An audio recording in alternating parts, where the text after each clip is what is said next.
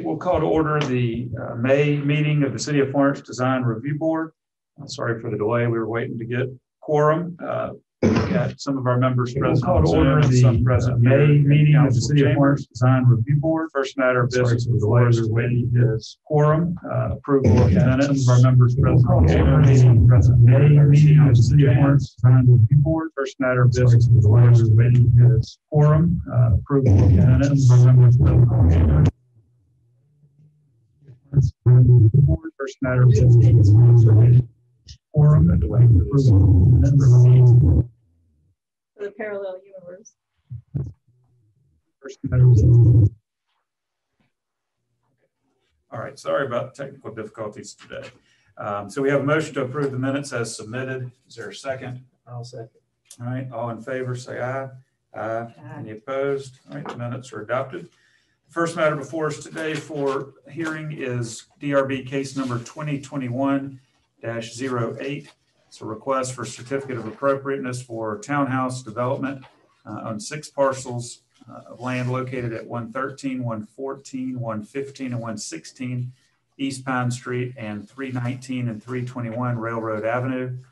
Tax map numbers are as follows, nine zero zero eight seven 6 one 90087 6 2 90088 3 15 90088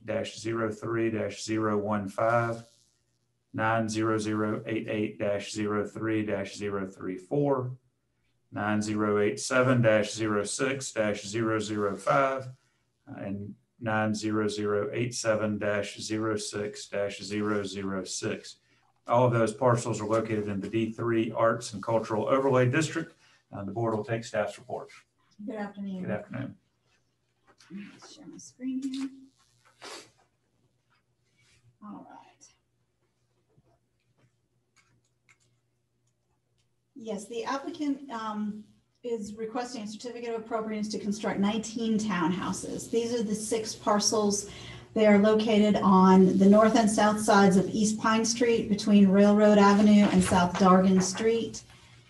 This is a close-up of them. Um, The city of Florence owns all six of these parcels. They currently are zoned a mixture of central business district and neighborhood conservation 6.2. The four parcels on the north side of Pine Street went to planning commission last night with a request to be rezoned to the CBD, which is, which does allow townhouses. The NC 6.2 does not. Um, and that rezoning request was given approval by the planning commission and will go before the city council next. Um, The, um, properties are vacant right now, so all of the new construction will be, um, meeting the design guidelines. Um, This is a picture of the elevation of the townhouses, and there will be nineteen individual units, uh, right now. In a moment, you'll see how they're laid out. But as you can see, it's, it will be a very traditional, um, facade on these buildings with articulated windows and doors and roof line. This is an overview of the, uh, six parcels and the way the, uh, townhouses will be laid out. Each one will have a, uh, one-car garage and then surface parking for one car will also be provided on site to the interior of the site.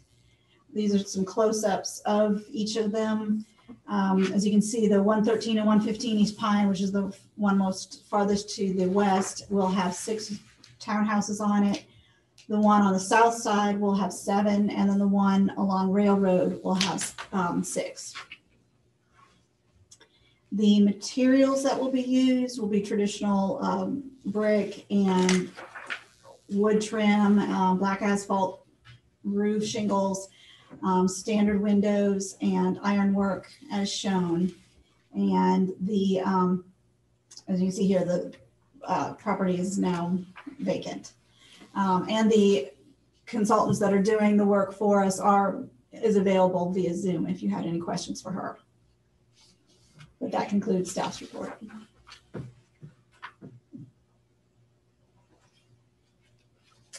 Thank you. Uh, So any board member have any questions for staff?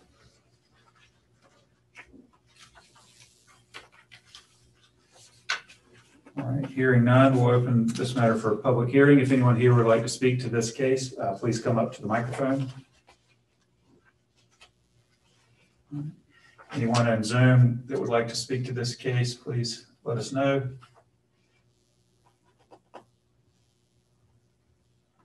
Right, We'll close the public hearing on this case and open it for board discussion.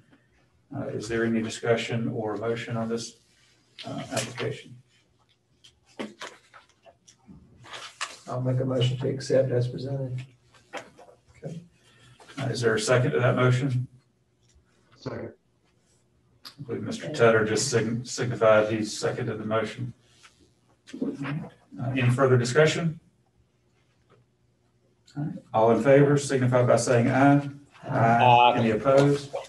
All right, certificate will be issued.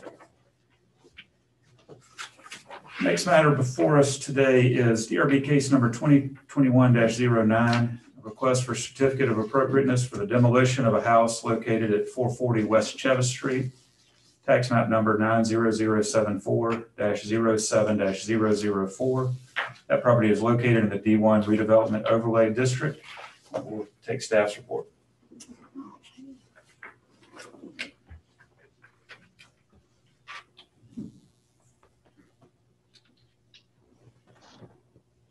Yes, the applicant is requesting a certificate of appropriateness to demolish the house located at four forty West Cheves Street. Um, It is located between, on the south side of Cheves, between McQueen and Worley Street. And it is in the CBD district.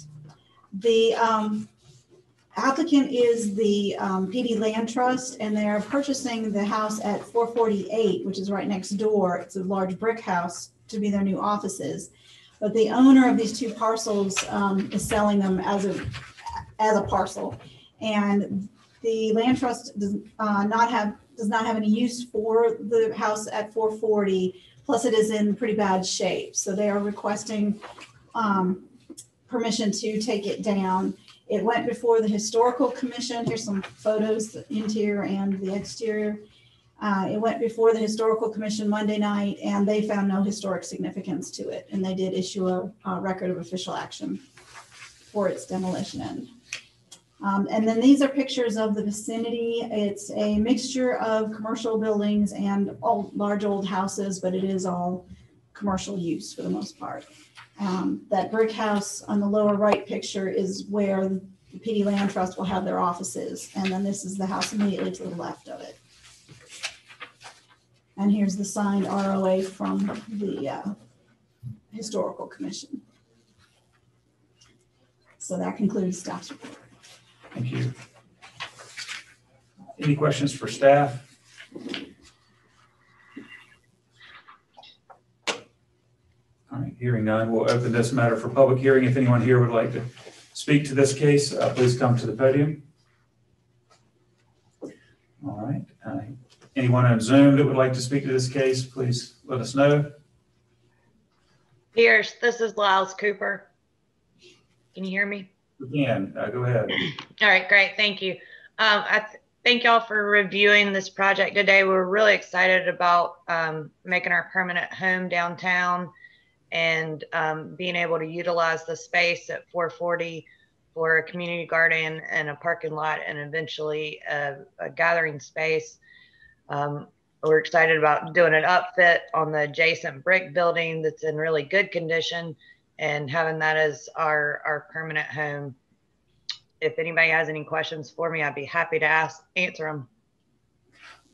One of the issues that we have sometimes with demolitions is uh, between now and whenever the garden and such are built is, uh, will you be, you know, putting grass down or something in the meantime so that it's not just a dirt lot? Yeah, so um, we're contracting with LH Stokes to do the demolition and the disposal. And at the same time, they're actually going to bring in the gravel for the parking area um, that will cover the majority of the foundation area of the demolished building. And we'll be using the brick columns from the current building as um, the cornerstones of the community garden which we'll be able to do pretty quickly um, within a few months. Thank you. Any other questions? The only thing I would have to add is um, we have decided to Pam Osborne, the current owner, is going to go ahead and and apply for the permit herself and not us since we don't own the property yet. She's going to go ahead and do the demo, um, and then we'll purchase 440 from her once it's demoed in June. Any other questions? All right, any other members of the public that would like to speak to this case? All right, hearing none, we'll close the public hearing portion of this uh, and open it for board discussion. I think this is a good example of a reuse um, for a parcel that meets our, Meets all the Expectations. guidelines, Yeah. And to have a garden, I think will be lovely. Right. On the spot. any other uh, comment or questions from board members? Hearing none, is there a motion?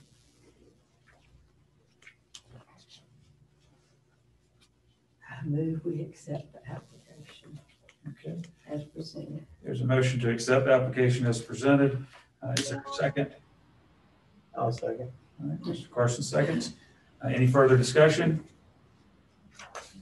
All in favor signify by saying aye. Aye. Opposed? All right, we'll issue the certificate. Thank you. Uh, The next matter uh, has a deferral request, so we just need to approve that. This is for case number 2021-10, uh, property located at 273 West Evans, tax map 90167-01-001. Properties in the H1 Historic Overlay District. The applicant has asked for a 30-day deferral on that one.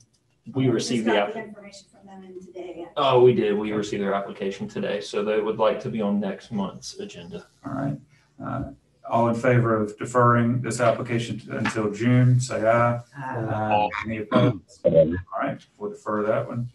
Um, The next matter is DRB case number 2021-11, a request for certificate of appropriateness for a chain link fence on the rear of the lot located at 661 South McQueen Street, tax map number 90076-02-008. Property is located in the D4 Timrod Park Overlay District. Uh, The board will take staff's report. All right, thank you all. Good afternoon. Good afternoon.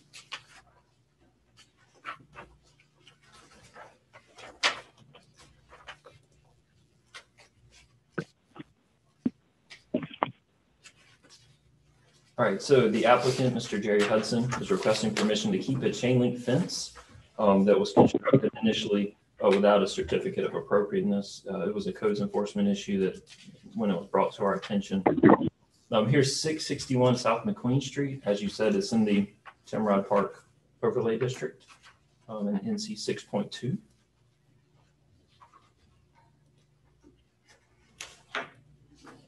So here's an aerial photo of the lot, and the red line represents the um, location of the fence that was constructed. Uh, In the Unified Development Ordinance, it does allow for chain link fences on street side yards. It is a corner lot. Um, If a hedge is planted on the outside and maintained at the height of the fence, just to screen it from public view. So here are some photos of the house uh, from the front, uh, from South McQueen Street, and then the secondary front of the house along Poplar Street where the fence is located. Um, here's the fence uh, next to the driveway. Um, it goes from the house um, along parallel to Poplar Street, and it's a, a black powder coated chain link fence. The um, applicant has since, uh, after construction, did plant uh, six purple diamond loropetalums and three sunshine ligustrum shrubs. Uh, you can see in these photos, and they will grow to a height that will completely screen the fence uh, as required in the Unified Development Ordinance. Um, so for the design guidelines, uh, new additions, uh, the fence can be removed in the future if necessary with absolutely no effect on the building. Um, the height, the applicant has installed a black chain link fence along the house's, uh, secondary front. Um, because the fence is not opaque, it will not obstruct the line of vision across. Um, chain link fence is not a traditional material, but as we said, he, he did plant a hedgerow, which will completely screen it in the future. Um, see, and that just talks about the planting, the purple diamond, Loropetalums. The fence is about four feet tall. Um, and the fence is forty feet long, running parallel to Poplar Street. And that does conclude staff's report. Thank you. Any questions for staff? I've got a, I've got a question, Scott. Um, Is the, is the spirit of the, of the, uh, the ordinance where it talks about the landscaping be at the level of the, of the fence? Um, is that meant to be eventually or immediately? I know in the past, uh, for, uh, on Graham Street, we did allow, uh, three years for the hedgerow to grow and mature. Um, so I, I, I think previously we have allowed a little bit of time. uh, for Okay. And I guess I would ask maybe somebody like Eric, is this, are those varieties going to get that high within a reasonable amount of time? Yeah, those two plants should reach that height within three years. Okay. That answers my question. Any other board questions for staff? All right, uh, then we'll open this for public hearing. If anyone here would like to speak to this application, please come up.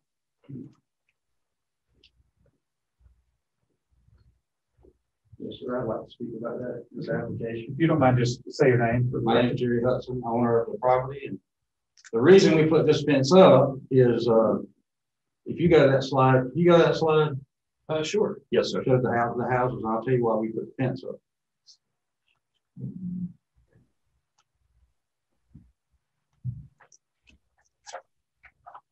This one, sir, or back another Uh, one? go back one more, uh, right there, you see the house beside us?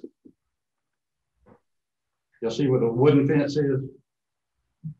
That was a drug house for two years, and we never, we had video of drug dealings going on in that house next door. Never could get anybody to resolve anything. Um, so we put up wooden fence. So in the meantime, our house is on the corner and is used by all kind of traffic. Um, all the time. I mean, on our camera, we've got people walking through three o'clock, two o'clock, one o'clock in the morning. So we had to put up something. If they weren't gonna do anything about drug dealing next door, we knew they weren't gonna do anything about people walking through our yard at all times of night. I mean, we're finding syringes. Uh, my wife has a compost bucket out there. She found two butcher knives, which don't belong to us. So somebody's even dropping stuff in compost. So to eliminate the problem, which we knew that nobody else was gonna resolve, we had to put up something and the fence had to be the only thing. Now, we knew we were supposed to put up aluminum fence, but the price of aluminum right now, because of COVID, is is just crazy. So we went with a chain link fence. We didn't want to put up a metal fence. We wanted to put up something that was attractive in the meantime. Um, so after we put the fence up, six hours later, we got a complaint, which every one of my neighbors came by and said, that's, that's the most ridiculous thing I ever heard. Why would they complain about you putting up a fence that actually looks well? I mean, we didn't have six hours to plan anything, but I know on Graham Street, it's been over two, three years. Uh, fence has been put up, nothing's been done. So I think in the overlay district, historic, it's kind of a selective enforcement, what goes on there. I think Derek sent me a note. The first thing he said is maintain the integrity of that neighborhood.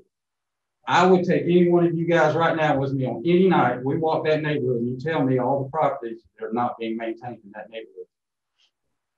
There's seven on Queen Street right now that should be almost condemned. That's not maintaining the neighborhood. It's bringing the price of those houses down. Uh, if that, if our goal is to maintain the neighborhood, then certainly we got more on the books than a chain link fence. And I, I would, I would challenge each one of you guys to come with me one night and walk our neighborhood and tell me that that's, that's what's going on in the, in the historic district. There's nothing historic about that district. As much as we'd like to think it is, it's not historic. I'll challenge you, any one of you, to come with me one night and I can show you the houses. They're not being maintained. The two beside me, the- house that you just saw there, they're putting vinyl siding on that house. I don't see any permits. I don't see any review board things going on at that house. The house beside me, the paint's peeling off of it. Uh, houses down, the plywood windows are putting put up. I mean, I don't see any, I don't see, I just see selective enforcement going on. I don't know if it's the manpower or we just don't have time to do it or nobody calls or I just, I don't, I just don't know how a forty foot chain link fence could be that big of a deal. Somebody had to answer that. I, I understand your frustration and, and certainly, uh, our goal here is just to try to enforce the ordinances and do the best we can to help support the neighborhood. But I would encourage you to, uh, talk with and work with your neighborhood association. They've uh, been very active over the years. Well, right now, we don't have a neighborhood association, so we've been, I mean, there's only two people show up in the meetings, Elaine Combs and maybe two other people. Um, we started a, a network app for our neighborhood, try to get more people involved in what's going on in that neighborhood. Unfortunately, with COVID, we could, we could, we hadn't met for a year, and even when we met, people were more worried about whether a trash can was put in or out. Uh, it hadn't been about, uh, maintaining the property or the properties at all. And certainly would encourage you to notify the city if you do see any uh, construction that's uh, in violation of the ordinances so that they can investigate. Oh, we, we can certainly, do- we can do that every day. I mean, I could call the city every day about something, but I, I, I'm just like, if they were willing to improve the neighborhood, then I'm all for it. But it can't be, well, he's put up a fence, but in the meantime, you got a guy doing full construction on a house next to us. And they ain't a permit, a, a permit in the window that says, okay, you can do this construction, or you can change vinyl siding. So how can it be a chain link fence opposed to construction of a house right next to you? And I would encourage you to make a report of that. We can, I, I can report every day. I'm sure Derek would love to hear from me every day, because I can report every day. Well, thank you for being here today. We appreciate it uh, and understand your frustration. Any other members of the public that would like to speak to this?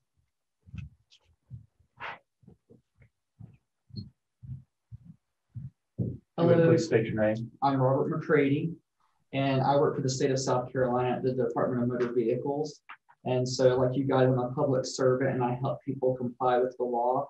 I'm also a neighbor of the Hudsons on McQueen Street, a little bit further down. And I've got to say, the Hudsons have the best house on the street. When they put it on the market recently, I even took a tour of part of it because I was so curious to see the inside of it. And I saw the fence go up and I didn't think anything of it. I thought, oh, how attractive. It's a dark colored fence. It's very discreet. And what I thought of is that they're a corner lot. And we tend to have burglaries in the area. So, and corner lots are more susceptible. So I, it just made complete sense to me that they would have um, a fence. Then I was really shocked to see that yellow sign in the yard about the hearing. I thought, oh my gosh, that's so embarrassing. The nicest house in on our street and it really is the nicest one, um, has the sign talking about their appropriateness of the fence. I was kind of, um, I just felt bad for them. I took up a little bit of time from work to come up here. I think that um, we can help them, you know, comply with the law, and I think that they have. And I also think about the resources that having that fence in the corner lot has saved the city of Florence. If it's kind of preventing trespass, preventing burglary, we're, we're not using the police to go and check things out. The police can use their resources other, other places. And that's got to be worth the cost of defense alone to the city of Florence and the taxpayer. So that's all I wanted to say. Thank you so much. Thank you. We appreciate it. Uh, Would anyone else like to speak to this application? All right, we'll close the public hearing on this matter and open it for board discussion. Any other questions? uh, Any board members have?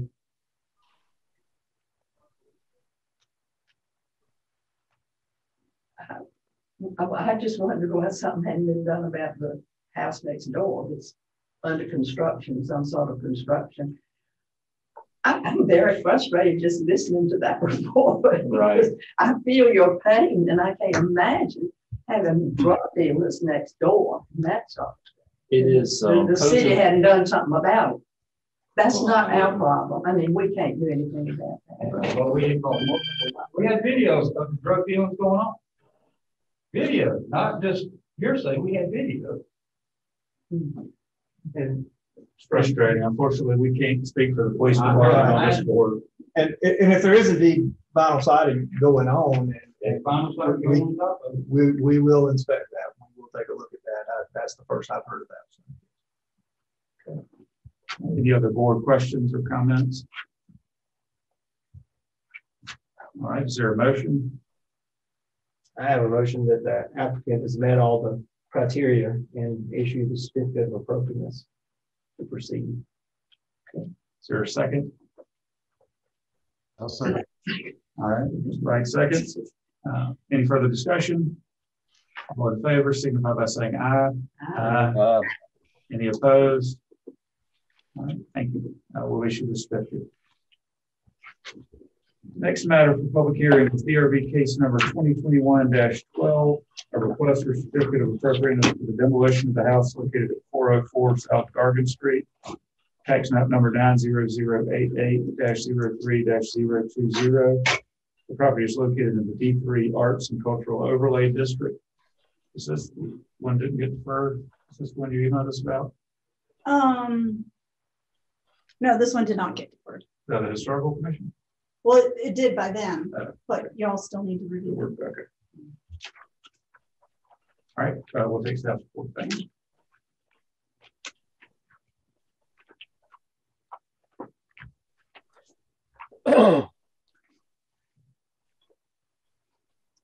All right, this is uh, the house, um, it was formerly a florist shop. It's located right next to the Waters Powell Funeral Home at the corner of Pine and Dargan Streets.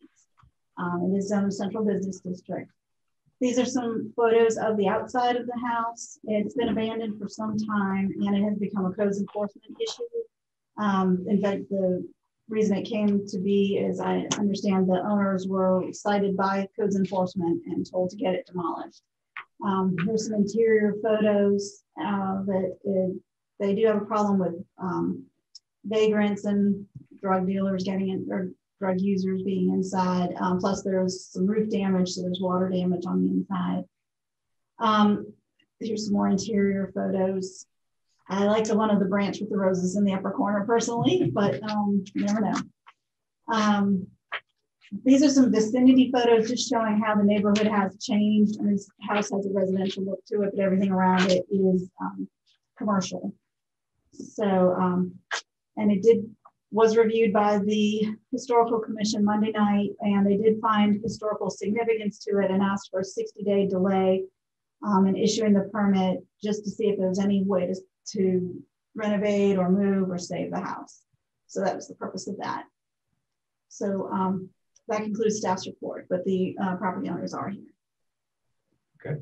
Um, So we proceed all the way through with our vote, even though it's sixty days. is- Yes, because at the end of that 60 days, if nothing's done, if y'all approve it, then they would still be able to get the, the uh, demo permit. All right. Thank you. Any questions from staff? All right, uh, then we'll open the public hearing. If anybody would like to speak to this, we'd be happy to hear from you. You, you certainly don't have to.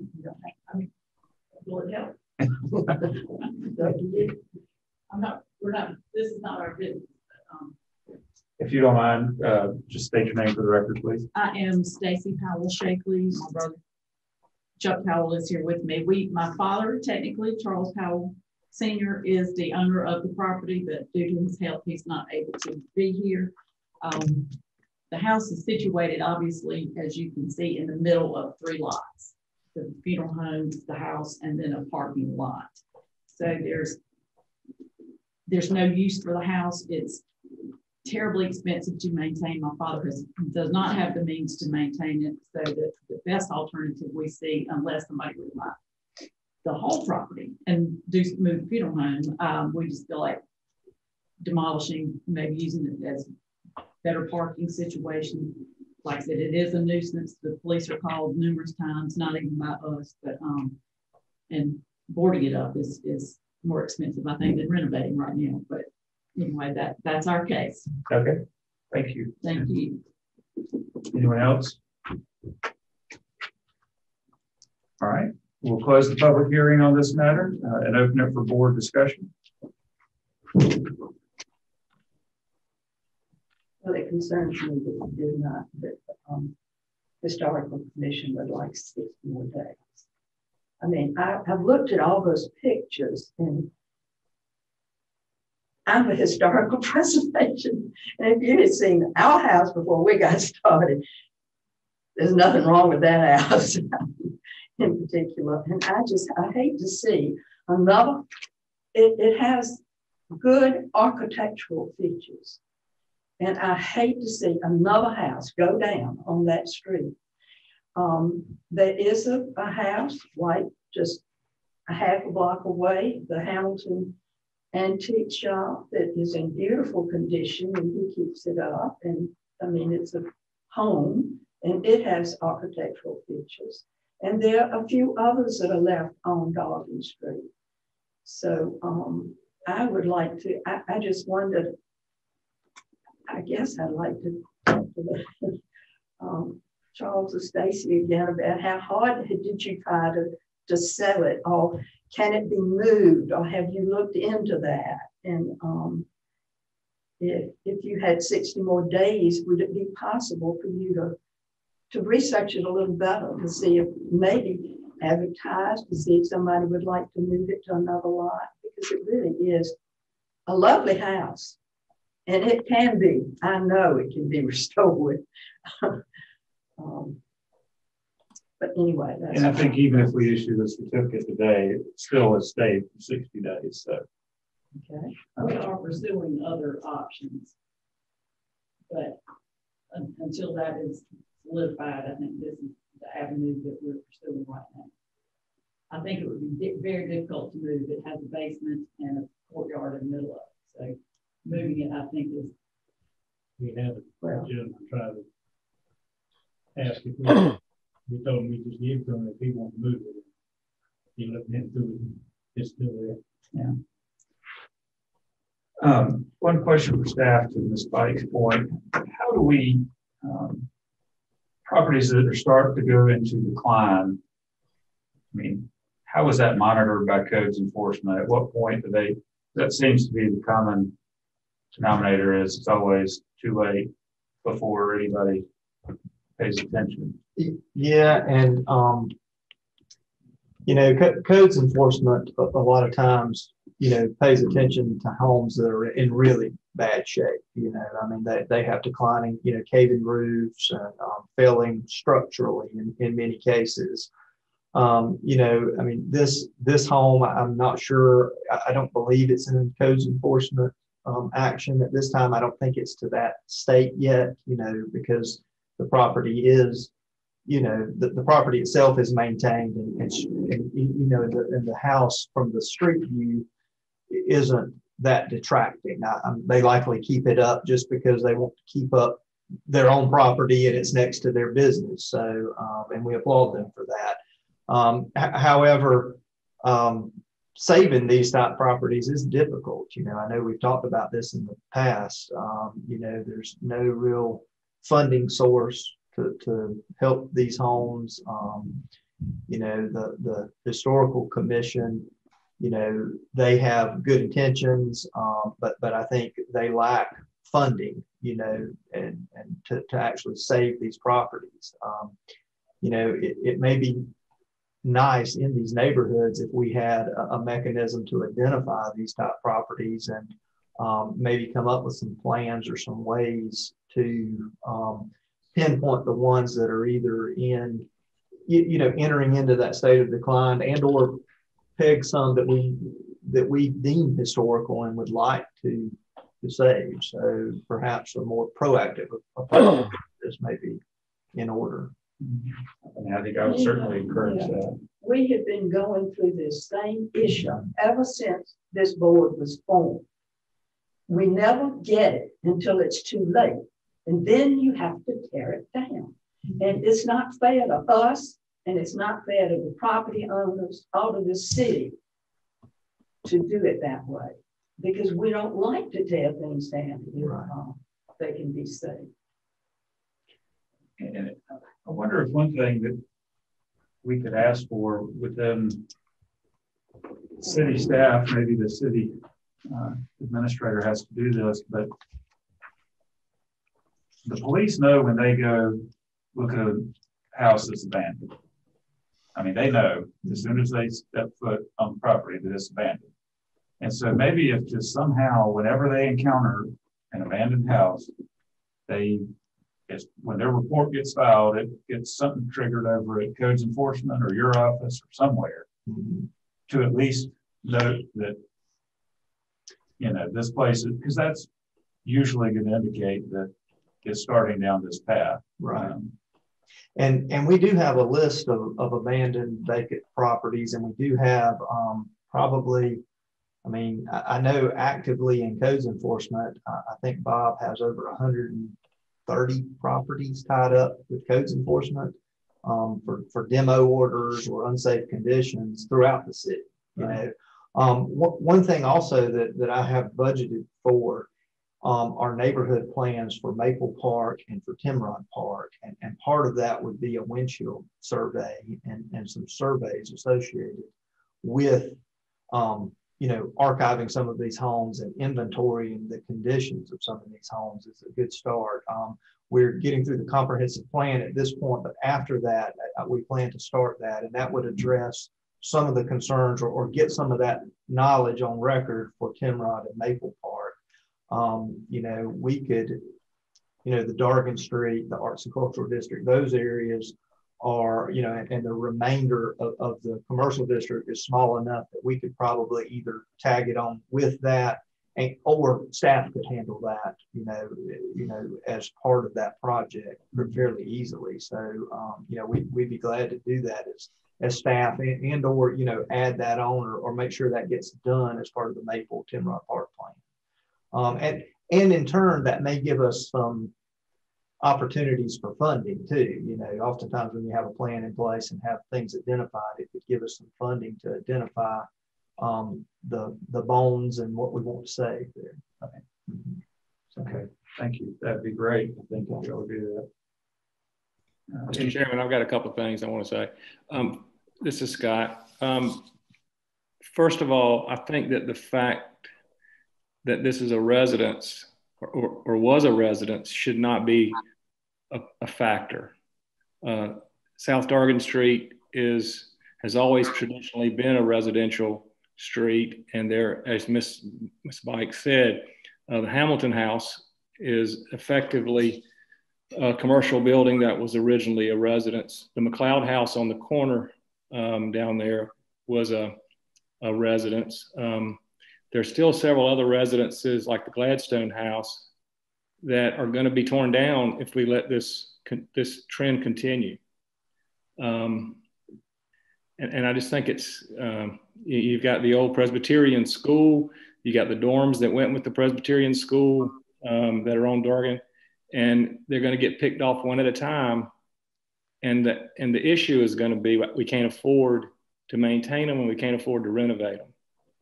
Um, and I think that if you keep a roof on a building and keep the envelope intact, uh, that's not a tremendous amount of money to uh, to preserve uh, a building until it can be renovated.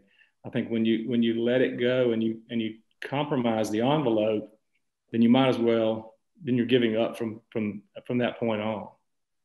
And it hadn't been too many years since this building was a, a viable business, uh, and it had a it, it was a, a, a viable business in a in a functioning building. I think it's less than what maybe eight years ago that the florist was there, and um, I just think that we're we're trending in the wrong direction here.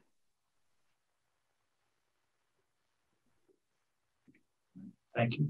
Uh, anyone else on the board? Any questions or comments?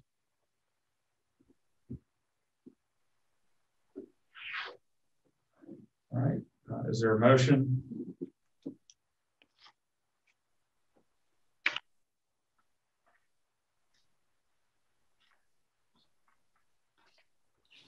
Well, we have to go one way or the other. We do. Um, to be fair to the owners, I will make a motion to to submit the certificate of appropriateness as presented. Okay. All right. So there's a motion uh, to allow the demolition subject to the 60 days the historical commission has. Is there a second to that motion?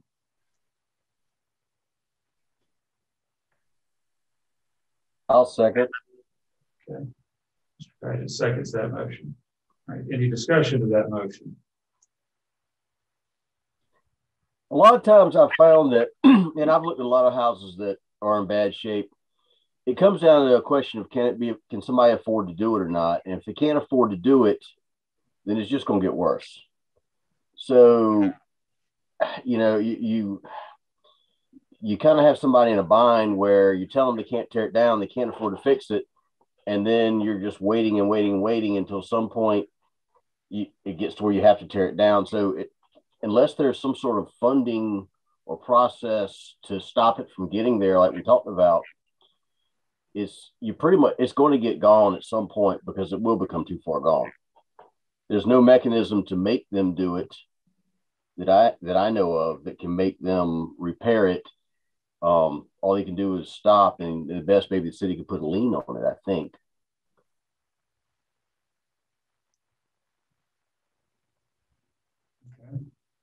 Any other comments? Scott, again, um, having said all the things that I said, I'm also sympathetic to the to the owner. I think that the biggest problem with this house, I believe, is its proximity to a very viable uh, ongoing business on the corner there. I think uh, it it is from a very practical standpoint. It wants to be parking.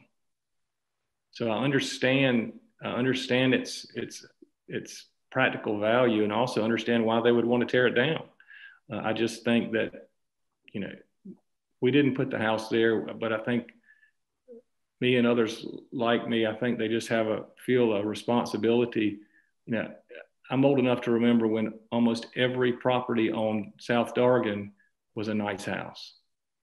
And we've we've lost tons and tons of them, and and I can promise you, this is not the last one that's going to get torn down if we if we just use this this very uh, sort of just bottom line sort of mentality.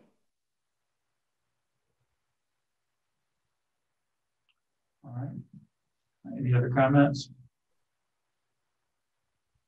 All right, there's a motion. I'm sorry.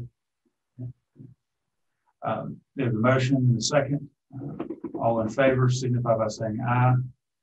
Uh, opposed? Aye. Uh, Okay. Uh, Mr. Healy, I'm sorry, I didn't catch you. Yeah, I'm, I'm opposed. Okay, so three, three, uh, tie, I guess. Well, there's seven of you, so what was Mr. Tedder's? Yes, was a, a. I just don't see how, I mean, in, in a situation like this, and I think Mike touched on it, I mean, it's just going to get worse and worse. I mean, how, if the owner is not capable of doing what needs to be done, then I think it goes back to, Mr. Chairman, what you're talking about. We've got to put some kind of a plan of action to, to help them. I mean, if we want to preserve, and I totally agree with, with what Scott and Ms. Pike and Eric, you're saying, and I agree with it, but I don't, you know, to the fairness to the owner, I, you know, I can't say that, you know, personally that, you know, no, you can't tear it down. Let's just let it sit there and fall down. Now, if the city has a program that can say, you know, we're going to allocate this, you know, to put the roof on it, the, save it for another 15 years, 10 years until that investor that can afford to come in and buy it and rehab it. I, vo- I voted no for this motion because we, they still, there's sixty days here that the historical commission has asked for. It could come before us again.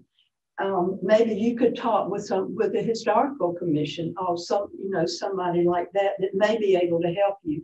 We're not in a position to, to help. If we hear somebody that might like to buy the house or the property, we could let you know, but that's not our, that's not our business. That's not why we're here. Well, Um, the, the problem with it is that it was, when my father, when our dad bought the property from the Right. Waters family back in nineteen eighty-two, the house came with it. Right. Because it's sitting right there in the midst of the, the U-shaped tract that belongs, that is specified for the funeral home. It wasn't bought to live in. And the flower Right. shop used it temporarily when their shop burned, and it went on much longer than we had intended their use of. I So, understand. you know, it wasn't, if you really love the house, let buy it and just let it fall apart. It, it just came with the purchase of the funeral home and the property. And you have had businesses in there, I mean, until recently. That one was in, Yeah. and they asked if they could use it for six months while they rebuilt. it. They never did it until that moved to Irving Street.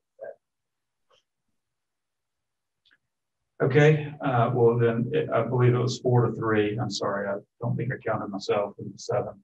Um, So the certificate will be issued, uh, and I would just encourage staff to focus on this. um, So that we can, you know, had we been able to identify this as a problem two years ago, maybe. um, You know, more efforts could have been made to try to save it, but We, we will, and we'll, I'll, I'll take this to the city manager and I'll also, um, maybe reach out to the historic commission and express our concerns, because, because I think, um, if, if we could work more closely with, with a group like that, we might could accomplish. It's the same problem we encountered a few years ago, time after time with the downtown buildings. When the roof started caved in and the floors collapsed, there's almost nothing, nothing left to do unless you happen to find that person who has the money and is interested Right. in the next week. Right. And, and many of our, the city's incentive programs extend to certain areas of the city. Unfortunately, they, they don't expand to, to this particular area yet, so. Okay, um, that's the mass, uh, oh, no, sorry, one more. Um, This case is being deferred, so we need to approve that. DRB case number 2021-13, Request for certificate of appropriateness for sign at five oh seven South Irby Street, tax map nine zero zero eight eight 6 5 Properties of the D three Arts and Cultural Overlay District and the Irby Street Corridor Overlay District. The applicant has asked that this be deferred to the June meeting. All in favor of that deferral, say aye. Aye. All right, that's deferred. Our next meeting is June 9th. Uh, and with that, uh, if there's no other business, we'll adjourn. Okay. Thank you.